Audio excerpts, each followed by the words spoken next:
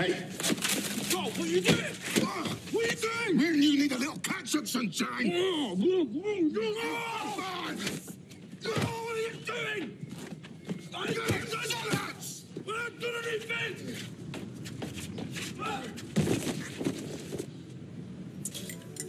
You strut around like the hard man, but on your own, you nothing.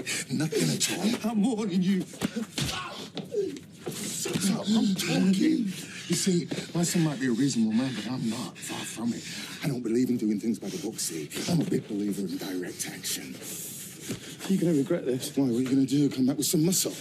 Yeah, big time. Only problem is, come back, you got to be able to go away in the first place, and you're not going anywhere.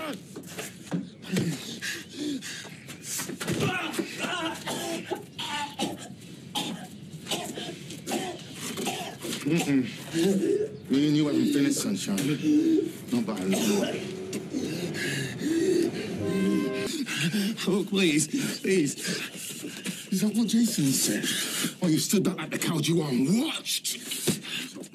Ah, what are you gonna do? Well, let's just say, next few minutes gonna hurt you an awful lot more than they do me. What's going on? Go back inside, Liz. Tony, Tony, you don't want to do this. After the way you left my son, I want to do it, all right? Do it for yourself, not for Jason. Can't let him get away with this. Listen to me. What good are you going to be for Jason from the inside of a prison cell?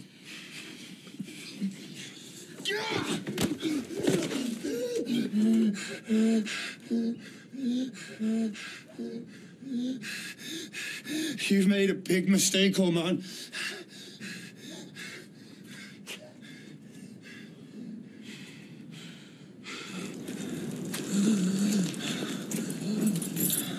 Ah, so I didn't go to judges then.